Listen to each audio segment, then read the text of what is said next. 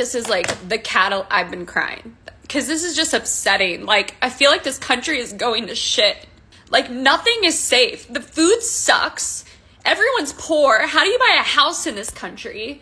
There's like a huge issue with immigration and refugees.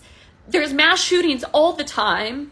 I don't know if anyone else feels like like a hopeless and also like scared for the future. Like what is actually going to happen when this presidential election takes place. Like, I'm actually fearful for my life. Like, what is going to happen? There's going to be riots everywhere, regardless of who wins. Like, I don't talk about politics on here because it's not my expertise and this isn't a platform for that. I, I'm a weight loss coach and trainer. Like, this isn't my area.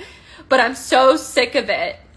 I don't know if you guys are sick of it, but I'm so sick of all of this. Like, it's it's messed up and someone needs to fix like if i would have just seen this in a vacuum i would have been like oh yeah one of the presidential candidates and former president just got shot. Like oh yeah that's like normal in the us but it's like it's everything that keeps happening over and over again. The toxic food system the lead and the arsenic in women's tampons. Like what the actual hell?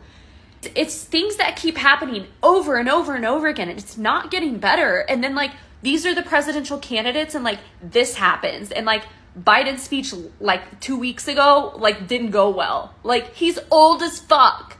Like what is actually happening in this country and who is going to fix it? Who's going to fix it?